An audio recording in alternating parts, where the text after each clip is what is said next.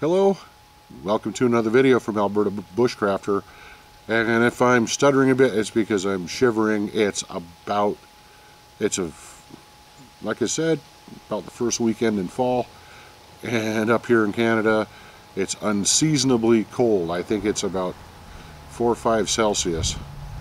And I'm not going to do the time to do the math on what that is in Fahrenheit. But Anyways, you guys have seen several of my videos on saws. You know how much fun I have with saws. This is a new one.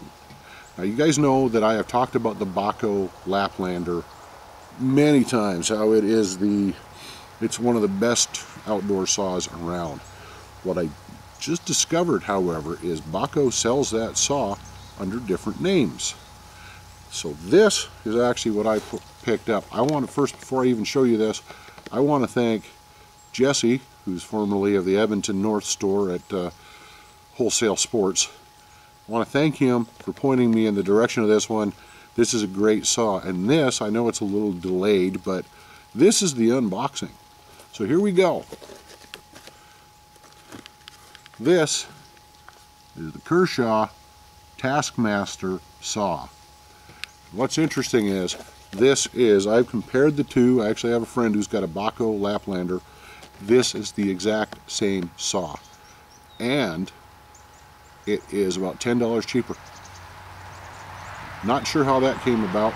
There are very, very few stores that will actually sell the Bahco Laplander up here in Canada. Now that's something, well, maybe Bahco wants to look into that.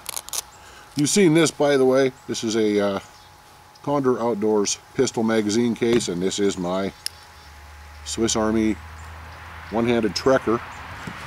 Short work. Ooh, cuts paper real nice. There we go.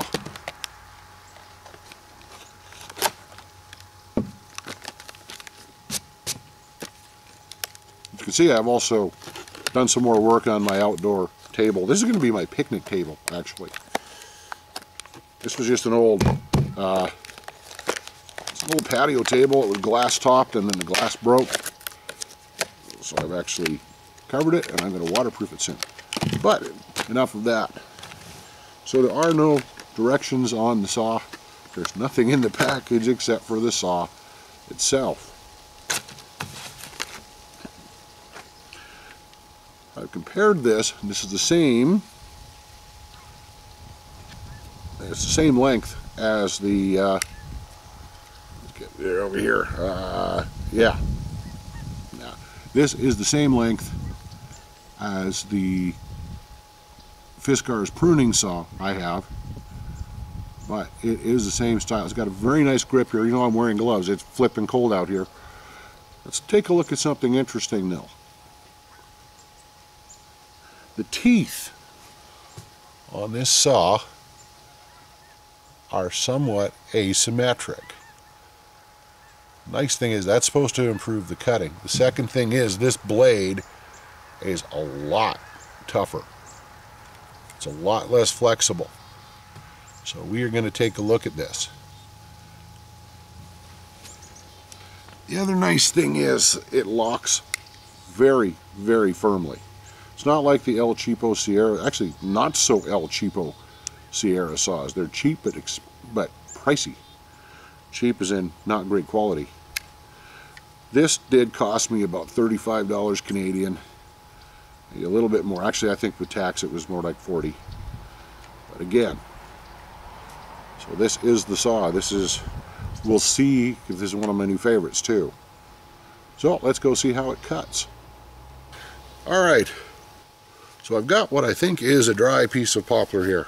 I've given the blade a bit of a spray with WD-40 because it's a good idea to do that with any blade. Let's see how this cuts.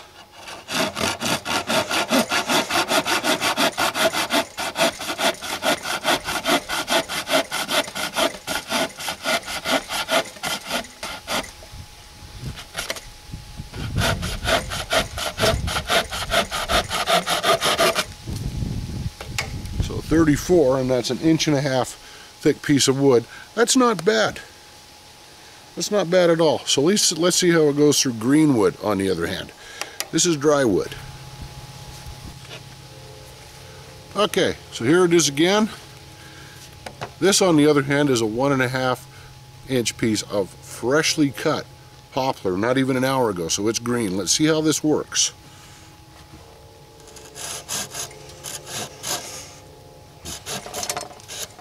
Sticky. Hmm.